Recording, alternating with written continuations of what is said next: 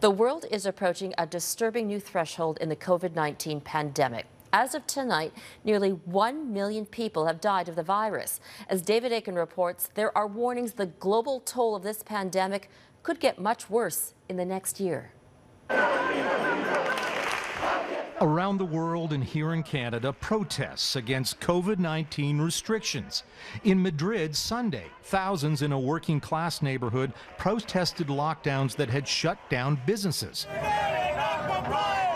In Toronto, Saturday, hundreds protested mask regulations.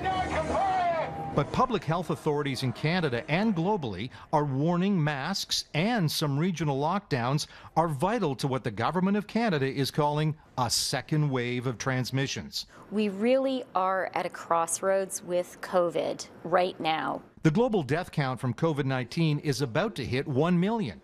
And in Canada and elsewhere, the number of new cases is on the rise.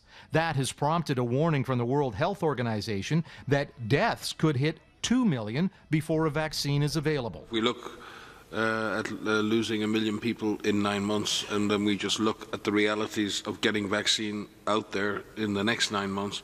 It's a big task for everyone involved. Indeed, that task was the dominant theme at the just concluded Leaders Week at the United Nations General Assembly in New York. Whoever finds the vaccine must share it. This is a global responsibility, and it's a moral responsibility for a vaccine to be shared far and wide. Almost all leaders spoke to the near empty UN General Assembly hall via video conference.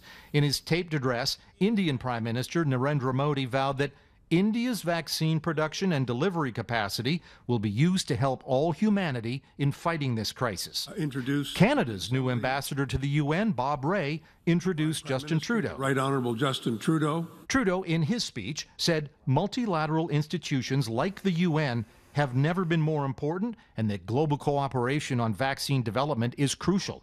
Let's use our shared power, not just to get a vaccine, but to get it out to everyone. The Canadian government has already spent millions of dollars to reserve millions of candidate vaccine doses. When it comes to that spending to fight the virus, my message to Canadians is we will do whatever it takes. Indeed, on Monday in the House of Commons, MPs will debate new legislation that calls for spending an additional $4.5 billion on vaccine research and development. David Akin, Global News, Ottawa.